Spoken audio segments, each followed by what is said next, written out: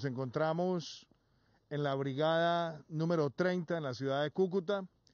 Nos acompaña aquí el señor gobernador del departamento de Norte de Santander, el alcalde de la ciudad de Cúcuta, el señor ministro de la Defensa, la cúpula militar. Y quiero expresarle en primer lugar mi solidaridad a nuestro ejército nacional por este ataque cobarde, miserable, que se ha perpetrado el día de hoy contra su personal, contra las instalaciones y también que ha buscado afectar a personal de la Fiscalía General de la Nación y también a militares que prestan asistencia y colaboración en nuestro país provenientes de los Estados Unidos. Quiero expresarle mi solidaridad a las familias de nuestros soldados que han resultado heridos en este ataque cobarde y miserable, terrorista, y expresarle también mis deseos a tres de nuestros hombres que han estado gravemente heridos para que superen estas lesiones. Quiero también expresar con claridad que este es un acto demencial.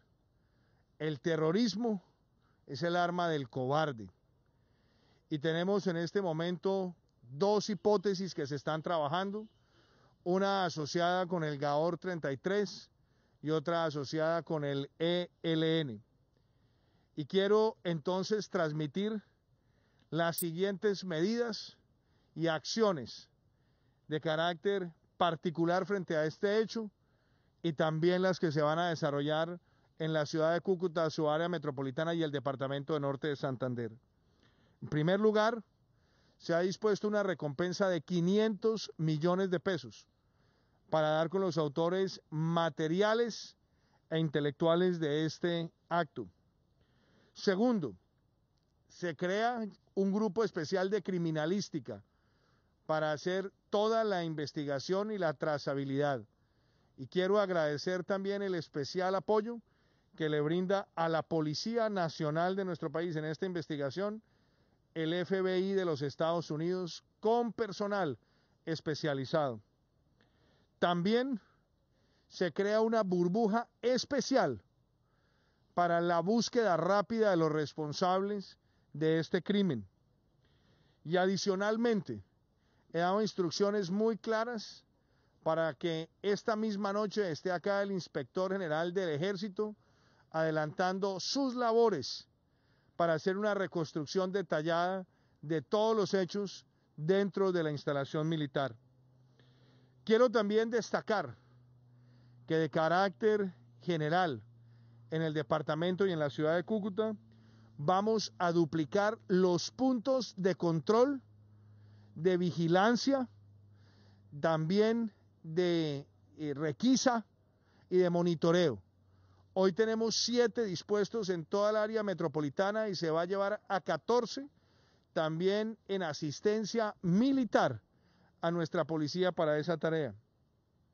Se va a fortalecer y aumentar rápidamente la red de participación cívica para tener denuncias ciudadanas y pagos también de recompensas de información.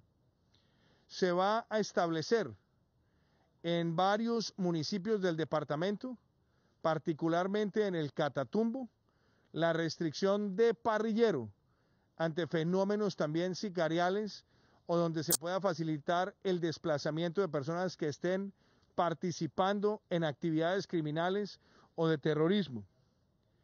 Se va a redoblar el plan muralla de control fronterizo en todo el departamento de Norte de Santander en cooperación integrada de ejército y policía. Se fortalece también la asistencia militar de patrullaje conjunto en el área metropolitana de la ciudad de Cúcuta y vamos también a desplegar capacidad de control de infraestructura crítica en el área metropolitana.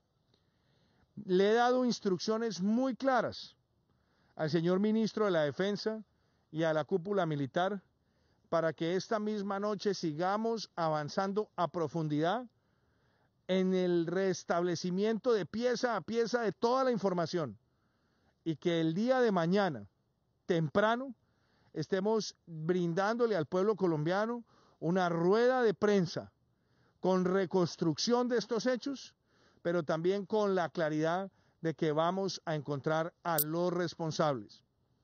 Esperamos entonces que Colombia no solamente rechace este execrable hecho, sino que tengamos claro que el terrorismo es un enemigo de nuestro país y quienes apelan a este tipo de herramientas solamente tienen el camino de enfrentar toda la contundencia del Estado y de la justicia.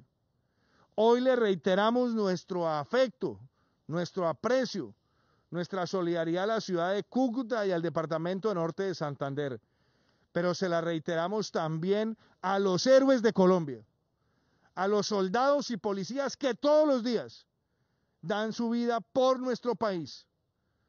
Hoy nos unimos en esta voz de respaldo y que quede claro que vamos a ir tras los responsables y todas las acciones de carácter ofensivo contra el terrorismo en nuestro país se van a redoblar y se van a acelerar. Muchísimas gracias.